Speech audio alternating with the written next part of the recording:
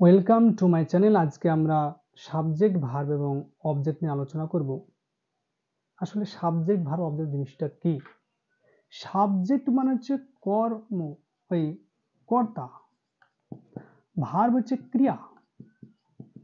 Object হচ্ছে কর্ম। তাহলে সাবজেক্টে বাংলা পাওয়া গেল কর্তা ভার্ব হচ্ছে ক্রিয়া অবজেক্টের কর্ম। কোনো ভাষা শিখতে হলে সাবজেক্ট ভার্ব অবজেক্ট অবশ্যই জানা প্রয়োজন। এখন সাবজেক্ট আমরা কি করে বের করব?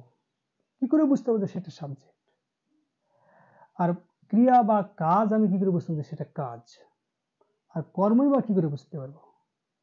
এর জন্য খুব সহজ টেকনিক রয়েছে। একটি উদাহরণ দিই। রবি আমাকে রবি আমাকে না, রবি আম খায়। একটা সহজ উদাহরণ এই বাক্যের মধ্যে ভার কোনটা আমাকে সর্বপ্রথম চিনতে হবে। এখন ভার বা ক্রিয়া কি করে বুঝতে পারব? না যেটা করতে গেলে সময় লাগে, করা বোঝাবে, না হলে থাকা বোঝাবে, না হলে হওয়া বোঝাবে, সেটাকে আমরা বলব ভার। যেমন খায়, খেতে গেলে তো একটু সময় লাগে, এক মিনিট, দু মিনিট সময় লাগে। লিখি, এরকম লিখছে, লিখতে গেলেও তো সময় লাগে। এক কথায় যেগুলো সময় লাগবে, সেগুলোকে আমরা বলব ভার বা ক্রিয়াপদ। এই ভারটা এটা আমরা, ভার্বকে আমরা সিলেক্ট করে ফেললাম, না, এটা কাজ করা হয়েছে। এই ভার্বকে একবার প্রশ্ন করব কে আর কারা দিয়ে। কে আর কারা দিয়ে প্রশ্ন করার পর যেটা উত্তর হবে সেটাকে আমরা বলব সাবজেক্ট তাহলে রবি আম খায় খাইকে প্রশ্ন করছি। কে খায় বা কারা খায়? উত্তর পক্ষে পাওয়া গেল রবি। তাই এটা হচ্ছে সাবজেক্ট আর একবার কি আর কাকে দিয়ে প্রশ্ন করব? রবি আম খায়। আচ্ছা রবি কি খায়, কাকে খায়? উত্তর পাওয়া হলো কি? না, আম। তা এটা হচ্ছে অবজেক্ট তাহলে আমরা কি পেলাম? ভার্বকে যদি কে আর কারা দিয়ে প্রশ্ন করা যায়, যেটা উত্তর হবে সেটা হবে সাবজেক্ট বা কর্তা।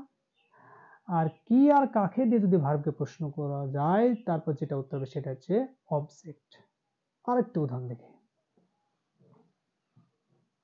ধরুন এখানে লেখা আছে, রহিম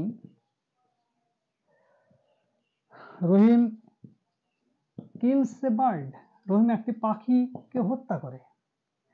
সর্বপ্রথম একটা বাক্য পাওয়ার পর সাবজেক্ট ভার্ব অবজেক্ট নির্ণয় করতে হলে আগে দেখতে হবে ভার্বকে। মানে কাজ করা বসছে কোনটা? দেখো কিল মানে হত্যা করা হত্যা করতে কিন্তু সময় লাগে। আর সময় লাগছে বলে এটা হচ্ছে ভার। সময় না লাগলে কিন্তু ভার্ব হবে না কারণ ভার্বের সঙ্গে একটা সময় জড়িত আছে।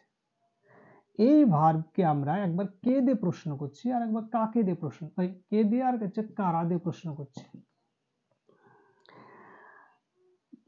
রহিম কিলসে বার্ড রহিম হত্যা করে একটি পাখি। কে হত্যা করে পাখি? এইটাকে হত্যা করাকে আমি কে দিয়ে প্রশ্ন হচ্ছে কে হত্যা করে পাখি বা কারা হত্যা করে? উত্তর পাওয়া কি রহিম? তাই এটা রহিম হচ্ছে সাবজেক্ট রহিমটা হচ্ছে সাবজেক্ট আরেকবার প্রশ্ন করছি, কি আর কাকে দিই? রহিম, কি হত্যা করে, কাকে হত্যা করে? উত্তর হচ্ছে একটা পাখিকে মানে এটা হচ্ছে অবজেক্ট তাহলে কে আর কারা দিয়ে প্রশ্ন করব? প্রশ্নটা করব কাকে? প্রশ্ন করব সবসময় ভার্বকে অন্য কাউ কোনো ওয়ার্ডকে প্রশ্ন করা যাবে না। সবসময় ভার্বকে প্রশ্ন করব, কে আর কারা দিয়ে? যেটা উত্তর আসবে সেটাই বলব। সাবজেক্ট আর কি আর কাকে দিয়ে ওই ভার্বকে আবার কি আর কাকে দিয়ে প্রশ্ন করব যেটা উত্তর পাবো সেটা হচ্ছে অবজেক্ট আর একটু উদাহরণ দেখি, তাহলে বিষয়টি ক্লিয়ার হয়ে যাবে। ছেলেটি ছেলেটি জাম পারে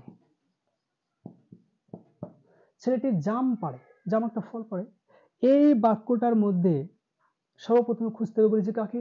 ভার্বকে ভার্ব জিনিসটাকে ভার্ব হচ্ছে একটা কাজ বোঝাবে।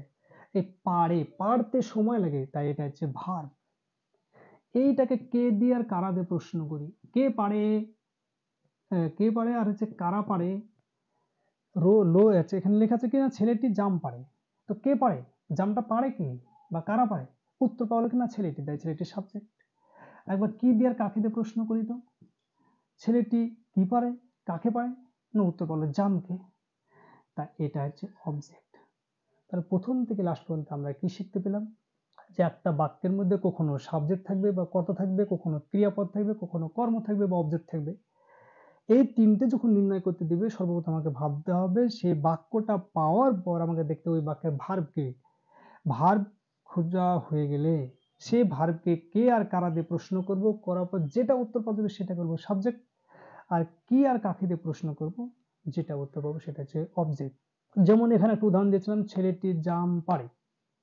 এইটাকে পারে হচ্ছে ভার্ব কারণ পারতে সময় লাগে, তাই বলেছি সময় লাগলে ভার্ব তাই এটা হচ্ছে ক্রিয়াপদ বা ভার্ব একে কে আর কারা দিয়ে প্রশ্ন করছে? কে পারে বা কারা পারে? উত্তর পাওয়া কি? ছেলেটি পারে, তাই এটা হচ্ছে সাবজেক্ট ছেলেটি কি পারে, কাকে পারে, কি আর কাকে দিয়ে প্রশ্ন করলাম? উত্তর কি পাওয়া না? জামকে পারে বা জাম পারে, তাই এটা হচ্ছে অবজেক্ট আশা করি তোমরা সবাই বুঝতে পেরেছ